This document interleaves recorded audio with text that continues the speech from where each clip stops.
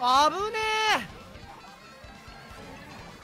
いやー邪魔されえあれ？全然事務所とかで殴るぞ。た 全然殴る。全然殴るぞ。何されたんですか？いやちょっとあーまあ子供と女に強いぞ俺。老人にも。ちゃんと殴る。殴られるわ。配信します。ぶん殴り配信。うん。怖いね殴り配信クラクションでね顔ぺちゃんこにされた。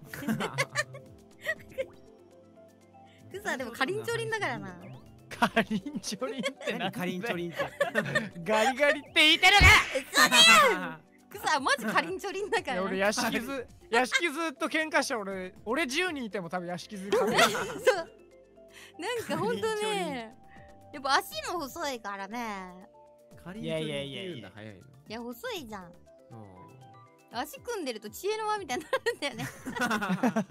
届けるどっか。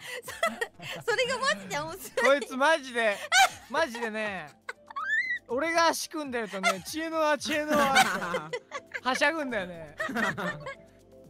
なかなか言わない。なかなかなかなか取れへんタイプの知恵の輪。知も恵の輪なんだよな。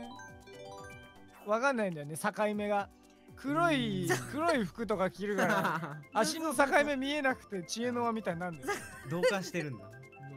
そうなんよね。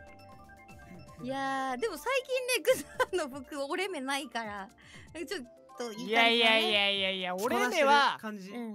俺目はだからもうちゃんとね俺はリスナーからもらった服を着てんのよ。あうん。ーちゃんと着てるっていうのはやっぱでもなんか愛があるよね。そうだ。よそうそうそうそう。もっとくれって言いたいけどプレゼント制度ないんだっけ今。ないし。消えでもねクザ真夏にトレーナー着てたからマジでプレゼント機能。着れりゃなんだってんだよも いやマジでプレゼント機能ないとクザそろそろやばくなってくると思う。